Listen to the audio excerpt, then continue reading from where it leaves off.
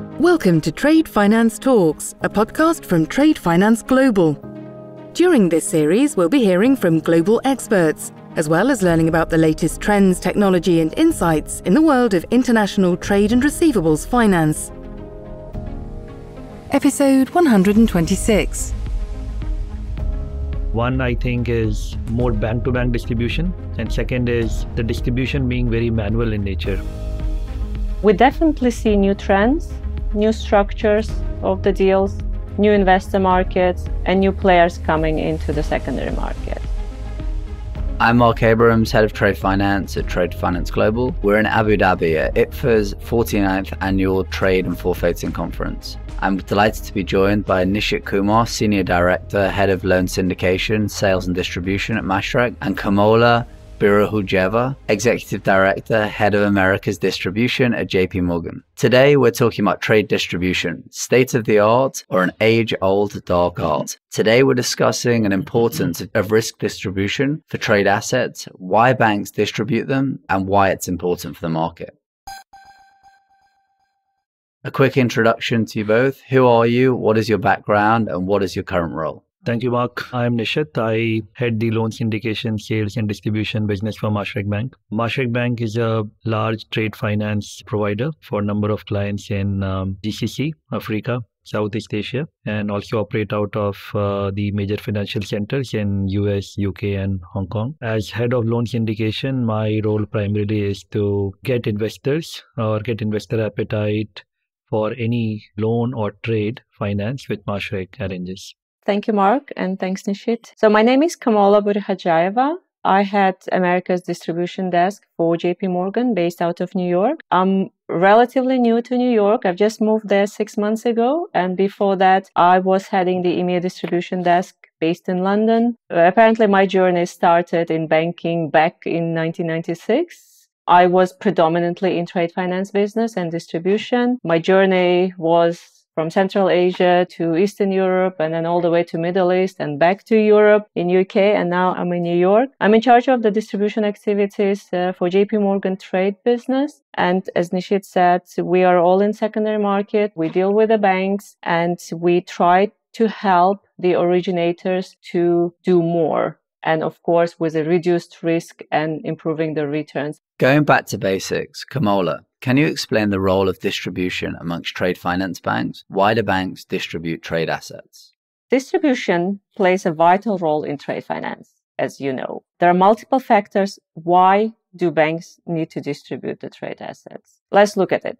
Distribution enables the banks, first of all, to manage their risk and then optimize their capital usage, at times enhance liquidity and create extra capacity.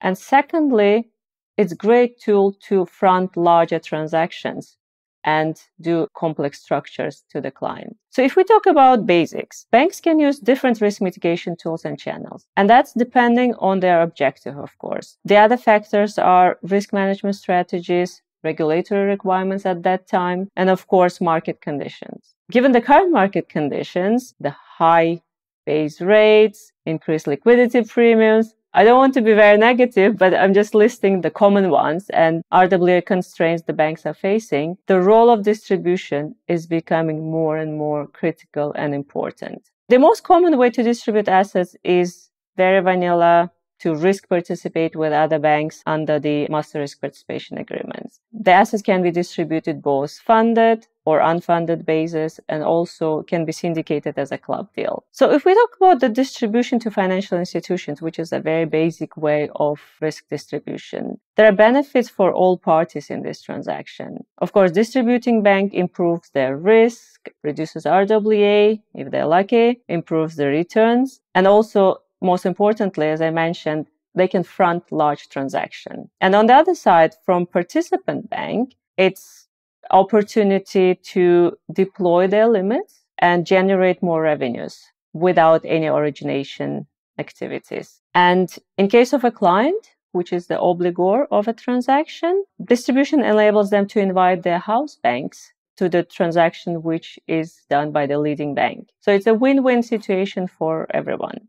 So that's on the vanilla risk participation structure. There are also other ways to distribute the risk, and that is uh, using the insurance. And we see more and more banks are entering the insurance area and they are using insurance as a risk mitigation tool. And also the multilateral development bank's role is key in the risk distribution activities. There are trade facilitation programs the multilateral development banks have. And those programs are specifically developed to support the trade flows to and from the emerging market countries or development countries. In my view, the guarantees of the multilateral development banks are one of the most efficient ways to de-risk from capital perspective at least. Thank you. And Nishit, in your panel session, it became apparent that banks distributing their trade assets has never been stronger. Can you explain why this is so? Sure, Mark. Uh, thank you, Kamola, for great insights. See, I think uh, while we are talking about uh,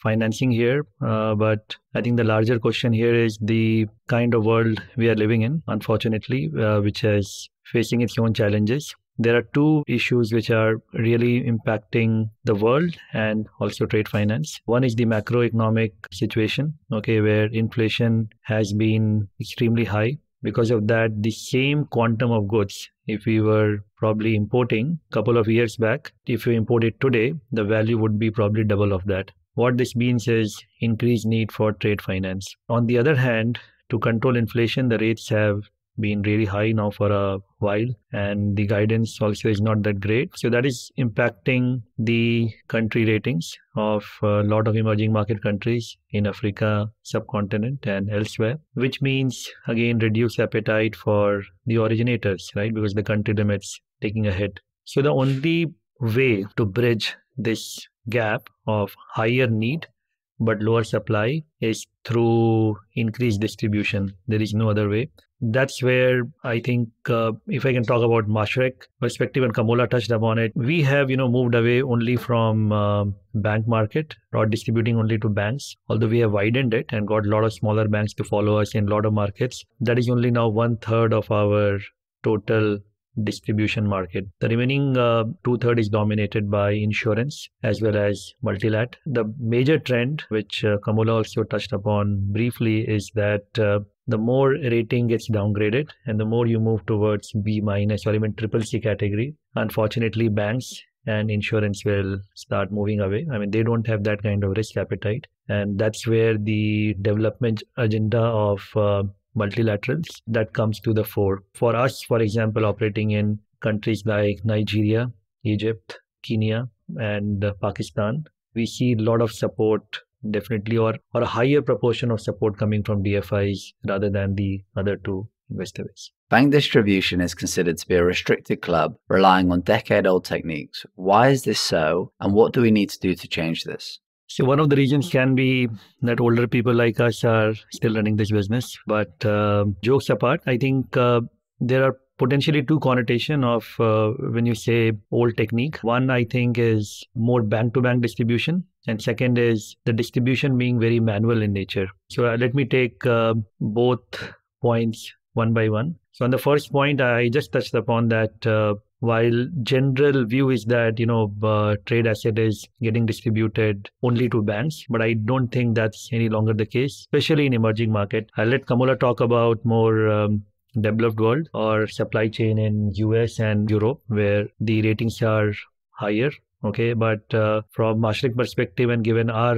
reach and which is more an emerging market play if you take out GCC for us as I mentioned insurance and multilateral they have made a big entry and they contribute now significantly to our distribution volume. The second part I think is more important. I highlighted that the need of trade finance is going up which means volumes are going up. So there is no way possibly you know that you can manage everything manually. There are a lot of you know paper exchanges kyc there are a lot of stuff which i don't think uh, can be managed manually any longer. From Mashreq also we have realized this a uh, couple of years back and we are investing a lot in technology. We now have our own uh, digital platform, okay, which uh, we are using uh, to distribute trades. The other positive impact of that would be that with so much data getting collected, we are also working with our advanced analytics team to build uh, an overlay of analytics onto, you know, such huge data which is being generated on this digital platform. And we think going forward, it will be very useful, maybe four or five year down the line when analytics can actually start providing a lot of guidance on how to do in which country. Thank you. And Kamola, what's your perspective from JPM and North American distribution? And what are the general distribution trends that you're seeing? I can probably cover more, not only North America, but globally for JP Morgan distribution team. We definitely see new trends, new structures of the deals, new investor markets, and new players coming into the secondary market. As you know, trade distribution trends can vary from time to time, and that is depending on the various factors. Some being, I'll probably list few, the critical ones. Global economic landscape, change in the trade policies or the regulatory requirements, or advancement of technologies, as Nishit mentioned, and many more. There are multiple factors for the change in trends in the secondary market. So what we see now, there are more and more non-banking financial institutions coming into the market, and those are the trade finance companies or trade finance focused funds who wants to do probably similar role as the banks. They are both in risk distributing and also risk participating. The other one is, of course, um, non-financial institutions like institutional investors. Those can be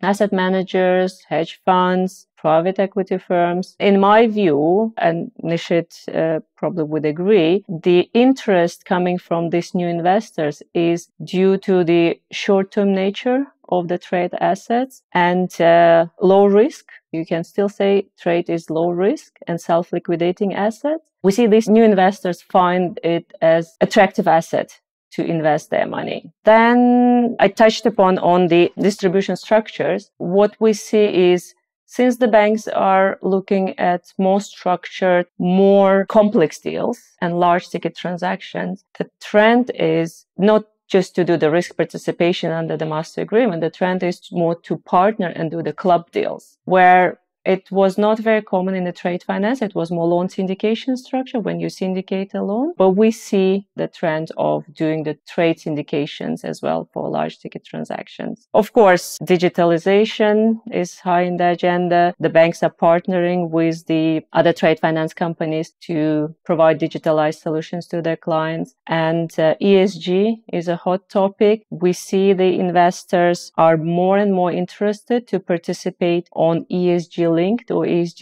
related programs and transactions. And that will help to meet their targets as well. So as I mentioned in the previous question that it's a win-win situation for both banks seller or participant. We hear a lot from the banks asking for ESG linked or related transactions.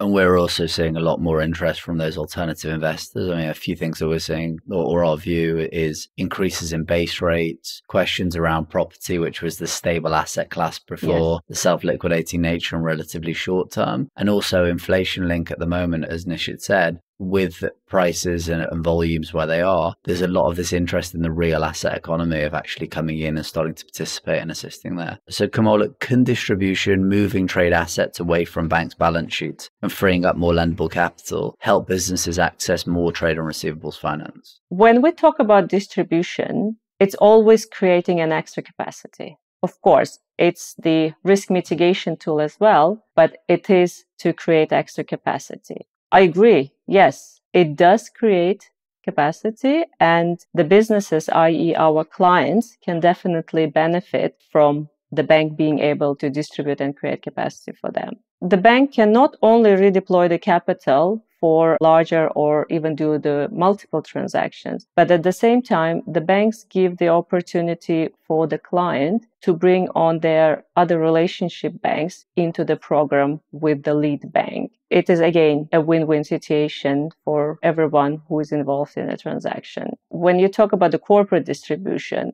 it's always driven by the client and to talk to the relationship banks first before you go out to the market. I just wanted to touch upon on the receivables and inventory finance. again, distribution plays a key role in that because as you know that to set up a program like any payables receivables or inventory finance program for a bank and for the client as well there is big operational process to set it up and also it's time consuming and also it comes as a cost for this type of transactions distribution is always part of value proposition and in most cases, the banks, as I said, will consult with the client and select the participant banks into that program. So it is kind of allocating the client's capacity with the banks as well, just to bring on into one program. And Nishit, what trends are you seeing currently in the market from a MENA perspective? And as a result, is supply chain finance on the rise? Thank you, Mark. Yes, so uh, I think from MENA perspective, we are definitely seeing a trend towards uh, supply chain finance picking up. As usual, it's not like every bank in MENA is trying to do that. From Mashreq perspective, I think we are definitely trying to take a lead on this, especially towards uh, financing a number of SMEs through more uh, innovative or alternate structures like uh, buyer-led supplier finance okay where if an sme today for example goes and try and borrow first of all they may not get financing or even if they get they will get it at a very prohibitive cost. Okay so through these structures like blsf which is more like financing against invoices which these smes have with uh, large corporate houses we definitely try and first of all build a bankable structure which can be distributed and secondly bring down the price okay which overall helps the ecosystem and especially the smes but these are not without challenges. I think these are early days. I think probably in uh, more developed markets these are